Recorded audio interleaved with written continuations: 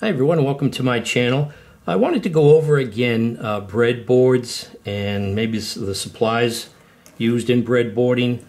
Um, I recently came across these jumper wires that I knew I had and I, I couldn't find them. Uh, I just came across them the other day. They were all dumped in an old shoebox and I had to sift through them and uh, put them all together. And because I couldn't find them, I had purchased this little kit. You can get these kit, these kits, and uh, comes with a nice little uh, container with the different lengths uh, slots that you can put the different lengths of wire in. Um, this is 22 gauge wire. I started breadboarding with this solid 22 gauge wire. That's just what I'm used to. And then when I would breadboard and go point to point, uh, putting the circuit together, I sort of keep them flat and bend them sort of, uh, you know, resembles the traces on a circuit board. That's just how I started. But now you have these, um, these are solid core. You have these flexible wires, which are stranded wires. And uh, so when you go point to point, you can't bend them and have them uh, flush against the breadboard. You, you, they tend to sort of look like a bird's nest when you're finished with uh, the circuit uh, putting it all together. But you, you just have these wires. This here is a male to female and comes all together connected in this harness and you just peel these off as you need them but they come uh, all connected and again this is stranded wire so it's it's you can't position it you know, and let it lie flat, doesn't have memory like the solid core wire does. I mean, when you bend it, it stays stays in that position. So you could buy 22 gauge solid core wire on your own, and they have it available. In these little boxes, the different colors, and they feed through these holes, and you could, uh, you know, make the wires as you're uh, building your project. And then as you build enough uh, different projects you could store the wires in these little tackle boxes you can purchase. So I know I did a video a while back on breadboarding and uh, wasn't too certain uh, how straightforward my explanation was on the relationship of these holes and uh, electrical connections.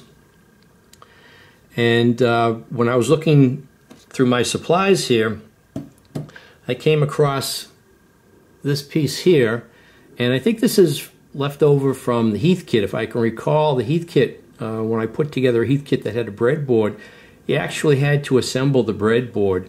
And this is the component that's on the other side of those holes. So you have this perforated plastic with the holes in it, and then there are slots on the other side, and then this is the material. You know, it's just uh, two pieces of metal, the sort of spring action, and the lead of the component fits in between these fingers. If you can see that. And these come in different lengths, or the manufacturer just cuts these to the lengths that they want. So the power rails here, for this, for instance, on this breadboard, this would be long a longer section as opposed to these smaller sections here that you would plug your components into. So it's easy to forget, you know, when you first got into electronics, uh, things weren't too straightforward and you had difficulty understanding uh, or when you, when you went into it and you had you know no knowledge of electronics whatsoever. So I thought I'd look at a breadboard again and, you know, they say a picture's worth a thousand words. Here is a 400 point breadboard.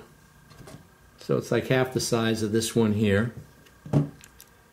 And I usually have double-sided sticky tape backing, so I'm going to peel this off and show you how this is how this is constructed on the uh, back side here, what, what this sticky tape is covering up. So that's what it looks like. Let's zoom in on this.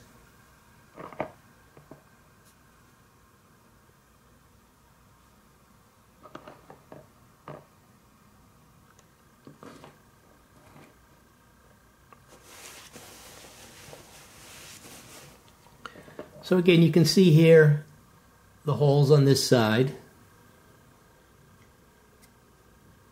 And then here are those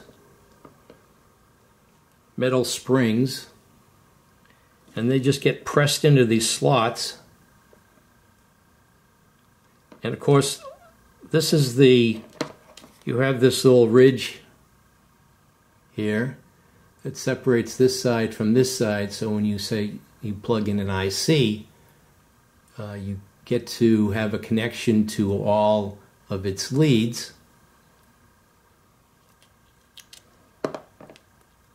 So you can see why on these rows here, that's all one connection.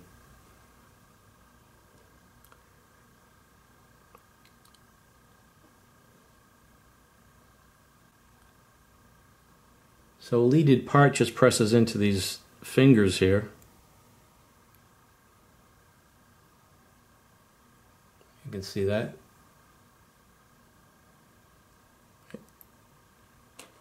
So this gets pressed in to that slot. Now for the power rails here, they just have a longer section of those metal fingers. So you can see here, this just goes down the full length of the breadboard. But you have to be careful because, for instance, on this breadboard here, if you had a large circuit that you were breadboarding and it didn't work, you might have found out that there's a section here of those metal fingers but it's not one long. What they've done is they have a, a, section maybe this long here and a section this long here.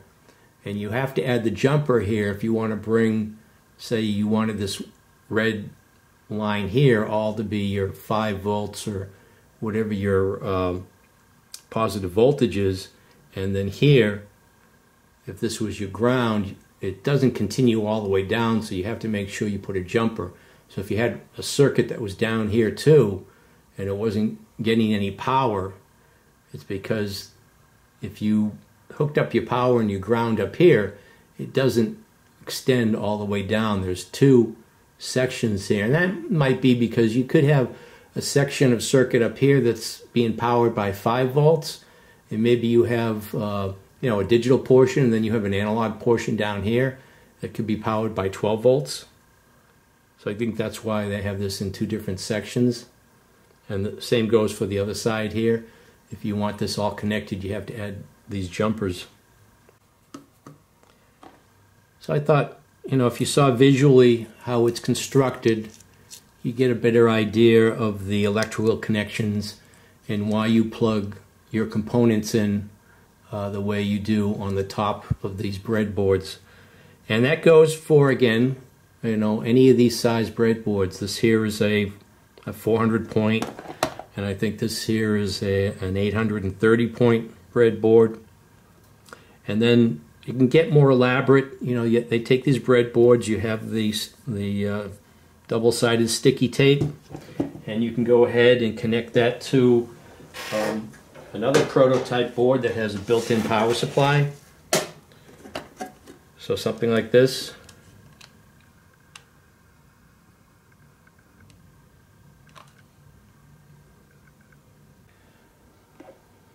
So here's a more elaborate prototyping board. It's got a lot more surface area and they have keys on these breadboards so you can snap them together to get larger surface area. And this here is just, uh, they've taken a project box and they've built into it a um, plus and minus 15 volt supply and a plus 5 volt supply. And it's just got a lot more surface area that you can build larger circuits with. But it's all the same concept. It's the same type of breadboard with these fingers that are pressed into the back. So whether it's this the small 400 point or one of these larger 830 or a couple of these snap together, you still build the circuits the same by taking an IC or your components and having them across that little uh, ridge there or a separation point. Little channel, whatever you want to call that. So that's just a quick follow-up again uh, about the basic structure of how the breadboards are built and constructed and why you plug the wires in the way you do and the components the way you do on the breadboard. So I hope you found this video interesting. Feel free to like, subscribe, and or comment. And thanks for watching.